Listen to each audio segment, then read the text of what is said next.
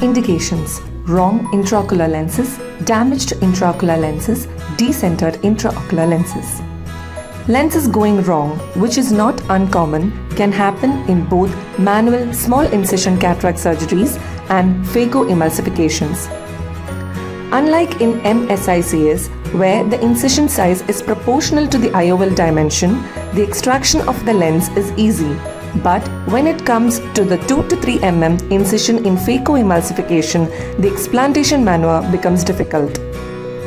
When such a situation demands, only used techniques are either to extend the clear corneal incision or to create another scleral corneal tunnel, both of which will compromise the watertight nature of the incisions, thereby requiring sutures.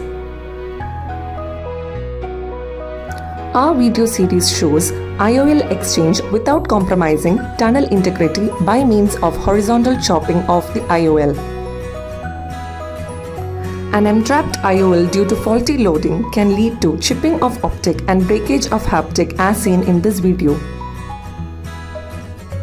Under viscoelastic cover, IOL was explanted out of the capsular bag and brought into the anterior chamber.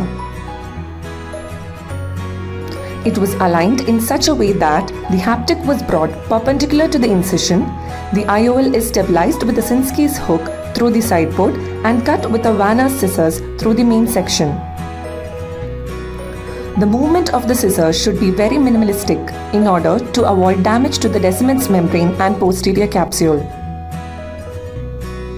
Remember, only the tip of the scissors should be used for cutting and not the entire length of the blade.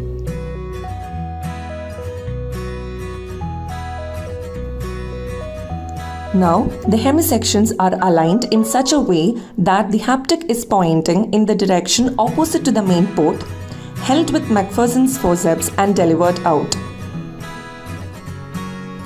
The second hemisection is aligned using Sinskey's hook so that it can be delivered in the same manner.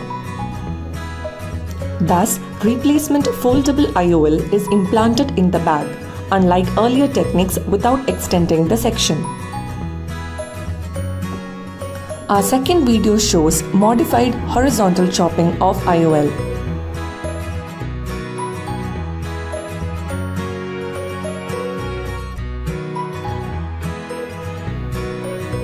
Similar to earlier case, faulty loading has led to similar damage to the optic and haptic during insertion.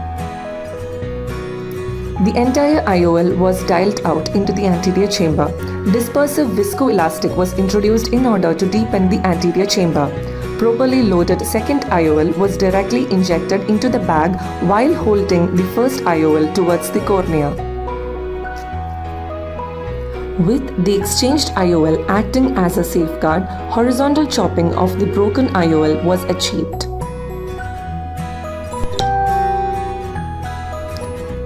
Each hemisection was removed in such a way that the haptic was pointed in the direction opposite to the main port as shown in the first video.